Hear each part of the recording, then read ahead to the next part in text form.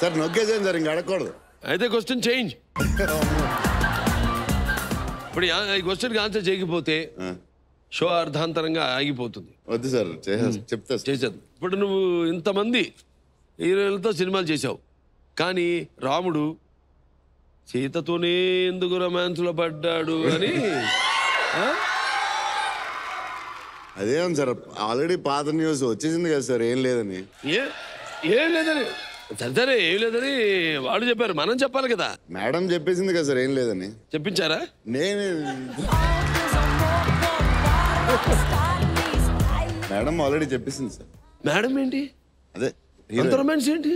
Sir madam ఏముంది sir? అమ్మా మేడంలోనే ఉందమ్మా. ఏమో మాకేం తెలుసు. ఇంటికి వెళ్ళేటప్పుడు నేను వసు మేడం వసు మేడం వెళ్తా ఇంటికి.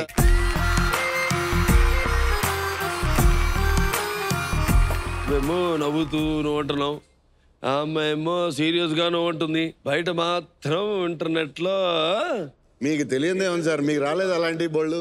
ఇంటర్నెట్లో మీకు ఏం ఎన్ని? వచ్చినాయి సార్ మీకు? అప్పుడు అప్పుడు సోషల్ మీడియా లేదు కాబట్టి ఓకే కానీ మీకు ఎన్ని వచ్చినాయి సార్? అదే సోషల్ మీడియా చూద్దాం ఇప్పుడు. మాకు అసలు ఏమీ లేకుండా? కాల్ చేస్తున్నారు సార్. మీకు అసలు మేడం పేరేంటి? మేడం పేరేంటి?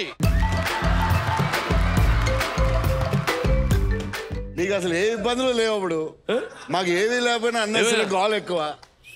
అప్పుడు మేము ఎన్ని సినిమాలు చేసేవాళ్ళం తెలుసా సంవత్సరానికి? అదే సార్ అదే. ఏడు ఎనిమిది సినిమాలు. మరి ఆలోచించండి ఎన్ని న్యూస్లు వచ్చి ఉంటాయో. ఏ వ్యాయాలకి అటువంటి వాటికి టైం ఏదా అసలు? మీ టైం చాలా మంచి టైం అప్పుడు. గోల్డెన్ పీరియడ్ అమ్మా. ఇప్పుడు అయిపోయింది క్వశ్చన్ మేడం పేరు చెప్పి దిగిపో.